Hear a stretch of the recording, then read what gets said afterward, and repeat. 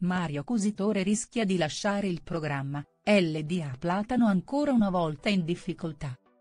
Manca sempre meno alla scelta di Ida Platano.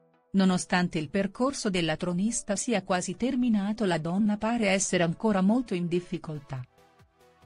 Il problema principale riguarda effettivamente Mario che si è reso protagonista dell'ennesimo teatrino in studio.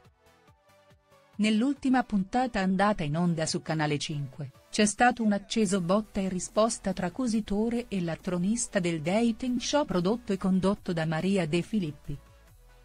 I problemi però per quest'ultimo non sono affatto finiti qua, anzi. Il giovane corteggiatore, come fa sapere Lorenzo Pugnaloni, domenica è stato avvistato a divertirsi con delle donne in un locale.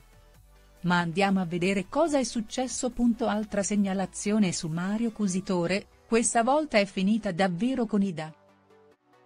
Mi avete girato dei video che circolano su X di Mario in un locale all'aperto a ballare.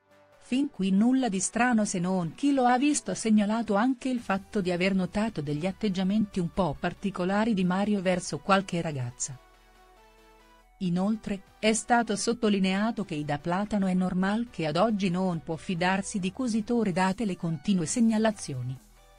Pugnaloni ha comunque preso assolutamente le distanze, dicendo che da parte sua guardando la clip non ha visto nulla di strano in attesa di capire cosa succederà nella prossima puntata e scoprire se in effetti tale segnalazione verrà riportata in studio, possiamo dire che il percorso tra lo speaker e Ida non è affatto semplice. L'ex dama continua nonostante tutto a corteggiarlo e a cercare di capire realmente se Mario è interessato.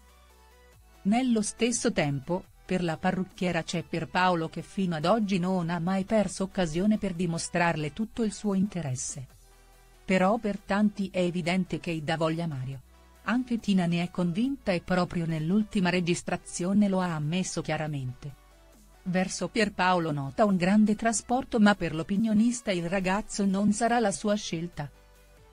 La Cipollari crede che manchi quel qualcosa in più per far scattare il sì cosa che invece nota con Cusitore.